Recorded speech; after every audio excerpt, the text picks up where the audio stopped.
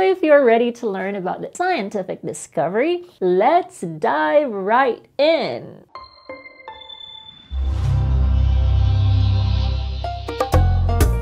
Hello, hello, I'm Mackie of My Transgender Date, the number one dating platform for trans women. Before we dive into today's topic, don't forget to subscribe to our channel and hit the notification bell. Today, we're going to shine our spotlight on transgender scientists and their incredible contributions to the world of science. So if you're ready to learn about the intersection of gender identity and scientific discovery, let's dive right in. First on our list is Lynn Conway. Lynn Conway is one of the best in the technology industry. She's had an extensive experience in her field.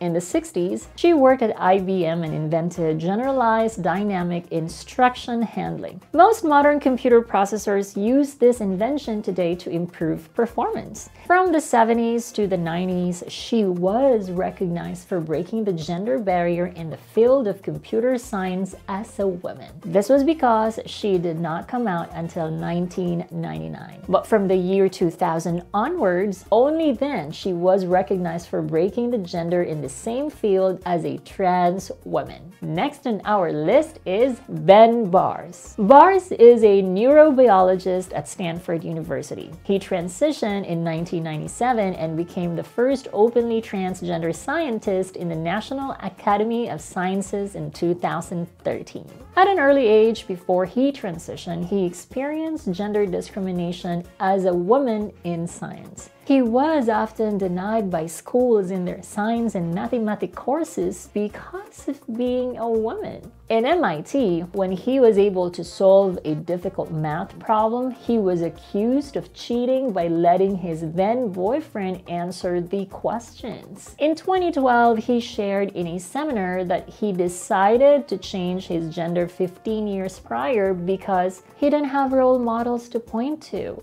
But being his own inspiration and being true to himself has earned him success in the field of neurobiology. Third on our list is Julia Serano. She's an author, musician, activist, spoken word performer, and among many other things, a transgender scientist. She obtained her PhD in biochemistry and molecular biophysics at Columbia University. Then she started her 17 year long career at the University of California, where she was a researcher of genetics and developmental and evolutionary biology. As an author, she has written three multi awarded books, specifically Whipping Girl, a transsexual woman on sexism and the scapegoat of femininity, Excluded, Making Feminist and Queer Movements More Inclusive, and Outspoken, a decade of transgender activism and trans feminism. Her books were recognized by the Lambda Literary Awards, Publishing Triangle, and Independent Publisher Book Awards. With all she's done in many different fields, we can all agree that she's amazing, isn't she?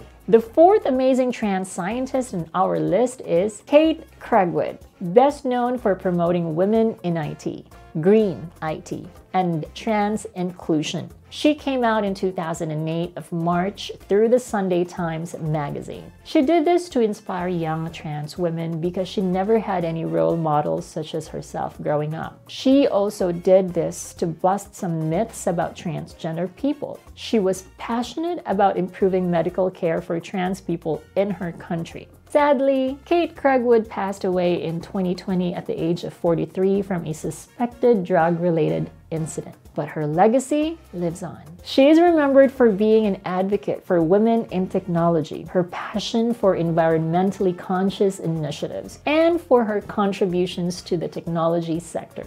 The fifth trans scientist you should know is Sophie Wilson. Sophie Wilson is a British computer scientist and engineer known for her significant contributions to the field of computer architecture and microprocessor design. She became a prominent name in the tech industry after helping design the BBC Micro and ARM architecture, which are used in building modern computers today. Her success started when she designed a microcomputer with a microprocessor which was used to feed cows electronically. Her most successful design to date is the ARM-1. It was created in April 26, 1985. But would you believe that by 2012, it was used in 95% of smartphones? This processor type is one of the most powerful ones available in the industry. So if you're watching this video from your smartphone right now, you have Sophie Wilson to thank for that technology. Next on our list is Christa Muth. She's best known for coining the term human systems engineering, which seeks to create systems that are optimized for human performance, safety, and satisfaction. Basically, Human systems engineering plays a critical role in improving the quality of life, increasing safety, and enhancing the efficiency of various human and technology interactions. She is also known for improving the Swiss and overall engineering educational system for the better. Her knowledge of psychology and engineering has pushed forth progress in her field. Without her, human systems engineering would not be what it is today. Last but not least, our seventh trans scientist, Rachel Padman. She is a physicist and a researcher who has made important contributions to the study of stellar evolution. She is known for her work on the physics of stars and the life cycle and has published numerous papers on this subject. Her research has helped to deepen our understanding of how stars are formed and how they age and eventually die. Her research has also helped us understand the overall evolution of the universe. She received a PhD in physics at Cambridge University where she works as a professor. Her work may focus on stars, but now we know that she is also a star in her own field. Thank you for joining me on this journey to learn about transgender scientists. There are other transgender scientists who have made and continue to make valuable contributions to the world of science.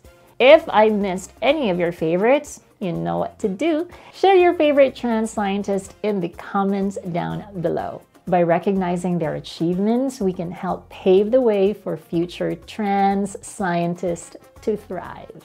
If you found this video insightful, make sure to give me a thumbs up. See you in the next video.